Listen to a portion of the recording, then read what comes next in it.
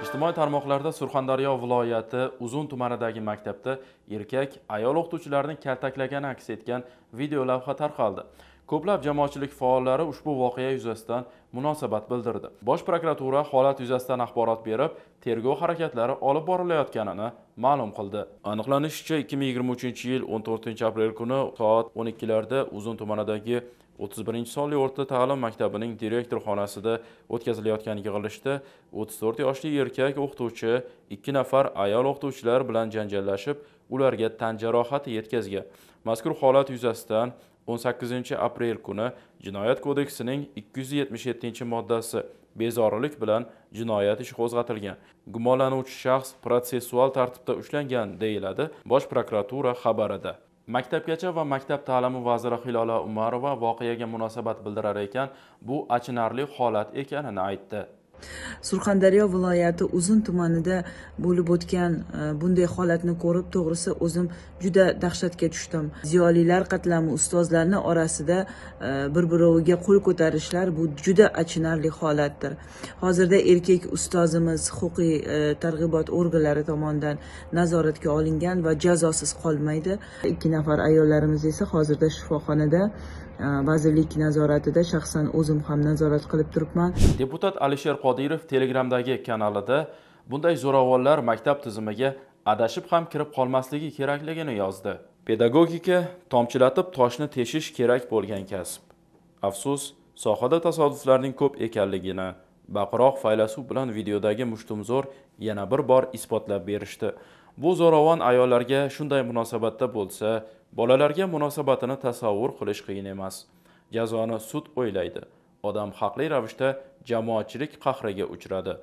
Lekin pedagoglikka o'qish maktab va bog'chada ishlash uchun qanchalar og'ir bo'lmasin o'n marta o'rganib keyin ruxsat beradigan tizim bo'lishi zarur.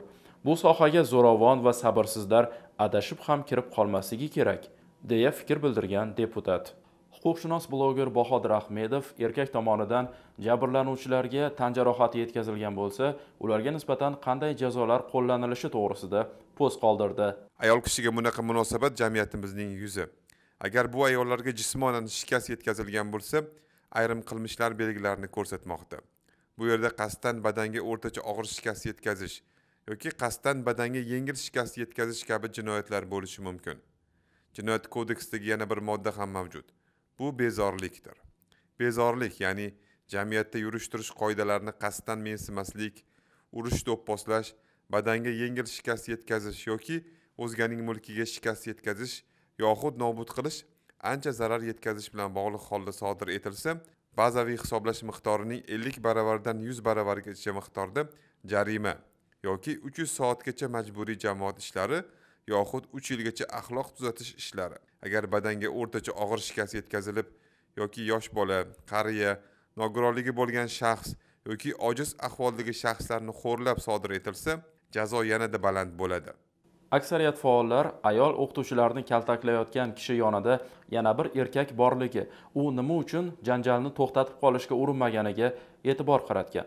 Xususan bloger olimjon haydarov ayollarni urgan erkak o'qituvchi ekaniga ishonmasligi qolgan erkaklar qonunbuzarni nega ushlab qolmaganiga hayronligini yozgan.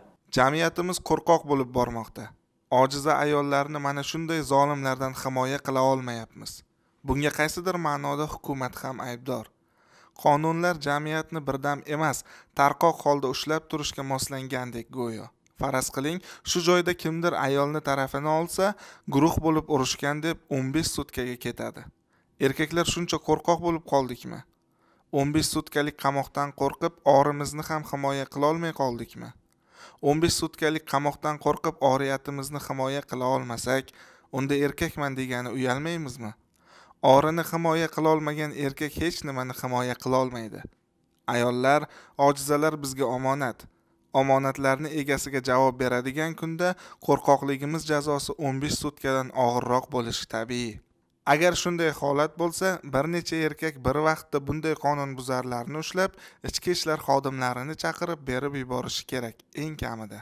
Jurnalist aziza qurbonova ham qolganlar nega janjalni to'xtatmaganidan hayronligini bildirgan. Atrof to'la odam. Ayollar mayli shu oq ko'ylak kiygan erkak nomli zot ham unga qarshilik ko'rsatmaydi. Ikki kaltak yegan ayol bir biriga suyangancha bukchayib yerga o'tirib qoladi meni qiynab yuborgan savol nega qolganlar harakatsiz nega qolganlar zo'ravonni yoqasidan tutmadi? Kamera borligini bilgani uchun oq ko'ylak va boshqalar jim o'tiribdimi? O'ldirib qo'ygandachi o'shandayam kamera yoki zo'ravondan qo'rqib o'tirgani uchun o'zini kechiradimi shu loqaydlar? Bloger shahnoza soatova voqeani tahlil qilar ekan ayol jamoat ichida qarindosh bo'lmagan jismonan kuchliroq odam tomonidan kaltaklansa nimalarni his qilishi haqida post qoldirgan. Bu bir lahzali akt emas.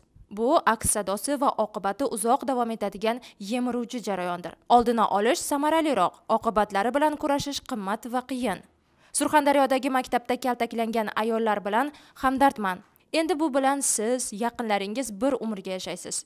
Biz ham boshqa takrorlanmasligi uchun nima qilish kerak bo'lsa barini qilish lozim. Eslatib o'tamiz o'zbekistonda xotin qizlar va bolalar huquqlari erkinliklarini himoya qilishga doir qonun kuchga kirdi. Unga ko'ra jinoyat va ma'muriy javobgarlik to'g'risidagi kodekslarga o'zgartirish va qo'shimchalar kiritilmoqda.